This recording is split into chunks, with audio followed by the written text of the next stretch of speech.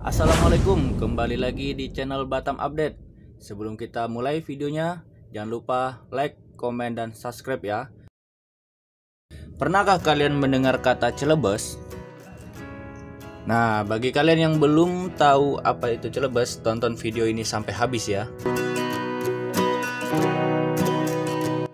Ya, Celebes merupakan nama masa lampau dari Pulau Sulawesi yang terkenal seantero dunia. Pulau Sulawesi adalah salah satu pulau dari lima pulau terbesar yang ada di Indonesia dan merupakan peringkat ke-11 pulau terbesar di dunia. Pulau yang hampir menyerupai bentuk huruf K ini terdiri dari enam provinsi, yaitu Provinsi Sulawesi Utara, Provinsi Gorontalo, Provinsi Sulawesi Tengah, Provinsi Sulawesi Barat, Provinsi Sulawesi Selatan, dan Provinsi Sulawesi Tenggara. Baiklah, kita langsung ke provinsi yang pertama yaitu Provinsi Sulawesi Utara.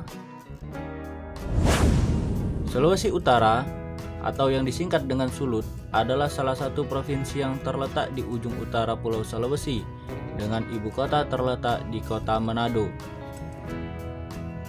Sulawesi Utara atau Sulut berbatasan dengan Laut Maluku dan Samudra Pasifik di sebelah timur, Laut Maluku dan Teluk Tomini di sebelah selatan, Laut Sulawesi dan Provinsi Gorontalo di sebelah barat, dan Pulau Mindanao Filipina di sebelah utara. Luas provinsi yang terdiri dari 11 kabupaten dan 4 kota ini adalah 13.892,47 km persegi dengan populasi berjumlah 2.506.981 jiwa.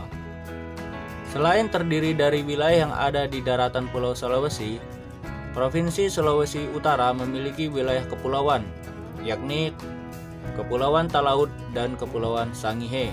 Bahkan, pulau paling utara Indonesia ada di provinsi ini, yaitu Pulau Miangas, yang berbatasan langsung dengan Pulau Mindanao, Filipina.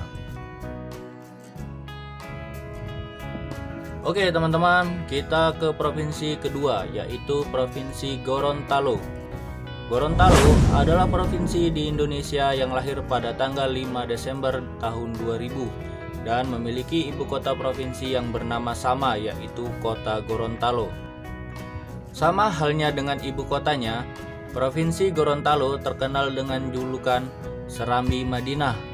Sebelumnya, Provinsi Gorontalo merupakan bagian dari Provinsi Sulawesi Utara dan kemudian memisahkan diri menjadi provinsi ke-32 di Indonesia. Provinsi Gorontalo berbatasan dengan Provinsi Sulawesi Utara di sebelah timur, Sulawesi Tengah di sebelah barat, Laut Sulawesi di sebelah utara, dan Teluk Tomini di sebelah selatan. Luas wilayah provinsi yang memiliki 5 kabupaten dan satu kota ini adalah 12.435,0 km persegi dengan jumlah penduduk sebanyak 1.166.142 jiwa menurut sensus tahun 2018.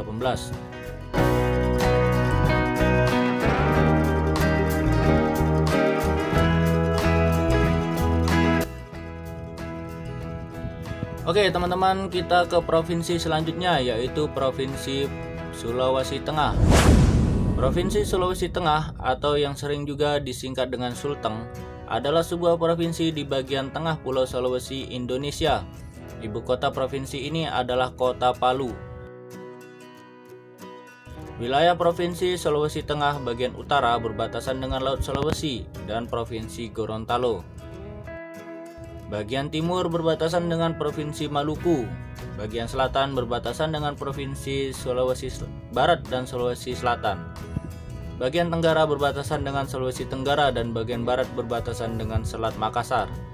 Luas provinsi yang memiliki 12 kabupaten dan satu kota ini adalah 61.841,29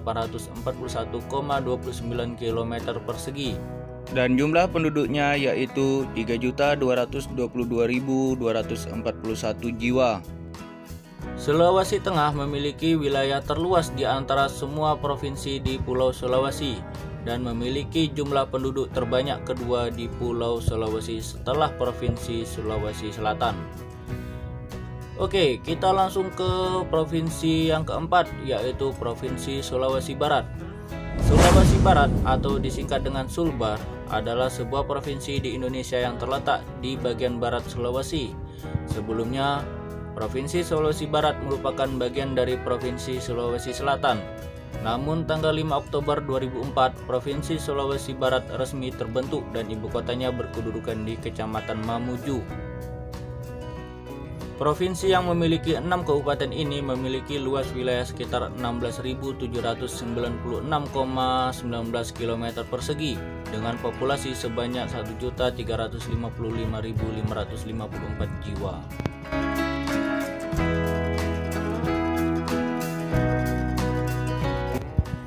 Kita ke provinsi kelima yaitu Provinsi Sulawesi Tenggara atau yang selalu disingkat dengan Sultra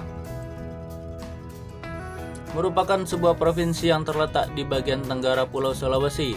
Selain memiliki wilayah di Pulau Sulawesi Daratan, provinsi ini juga memiliki wilayah berupa Pulau Buton, Pulau Muna, dan pulau-pulau kecil lainnya. Provinsi Sulawesi Tenggara berbatasan darat dengan Provinsi Sulawesi Selatan dan Sulawesi Tengah di sebelah utara. Provinsi yang memiliki 15 kabupaten dan dua kota ini memiliki luas wilayah 38.140 km persegi dengan populasi sebanyak 2.704.737 jiwa.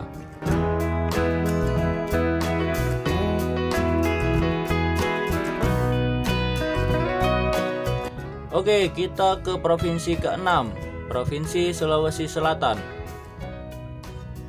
Provinsi Sulawesi Selatan atau yang disingkat dengan Sulsel adalah sebuah provinsi di Indonesia yang terletak di bagian selatan Sulawesi Ibu kotanya adalah Makassar yang merupakan kota penghubung antara Indonesia bagian barat dan timur.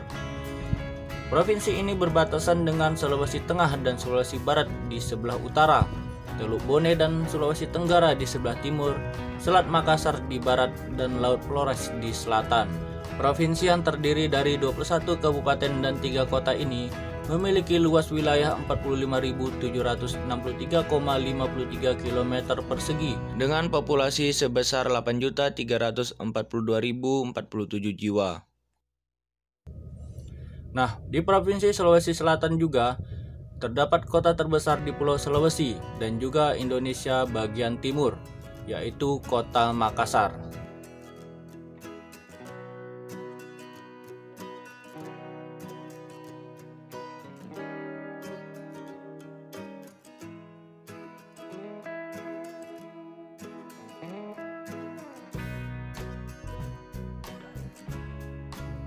Oke, demikianlah sedikit penjelasan tentang daftar provinsi yang ada di Pulau Sulawesi.